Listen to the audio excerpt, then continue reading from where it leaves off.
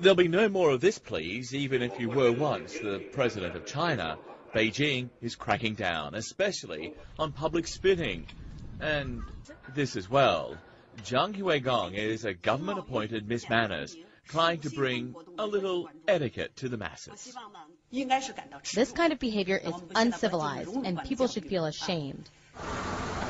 In a city where push comes to shove on a daily basis, communist leaders are worried what the world will see when the Olympics come to town next year. So the newly created Office for Orderly Bus Riding has sent out thousands of so-called civility supervisors. Like the very stern Mrs. Wang.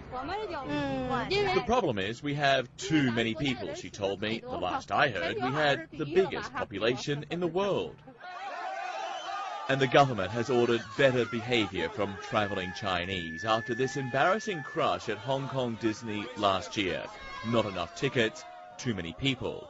For Yue-Sai Kan, a kind of Martha Stewart of China, the official decorum directive comes not a moment too soon.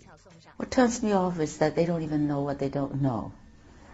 Uh, they think that this is the kind of behavior they have been living, uh, and then they, that's acceptable, and it isn't.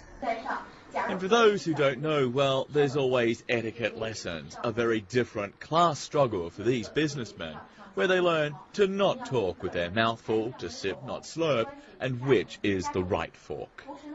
City officials believe manners are getting a little better, and they know this because, true to communist form, there's a civic index, a kind of etiquette scoreboard of pushing, shoving, and public spitting. And it shows that there's still plenty of room for improvement before the Olympic Games. And so, with much fanfare, the government has launched an official campaign telling Beijingers it's glorious to be polite, because after all, you never know who might be watching. John Vause, CNN Beijing.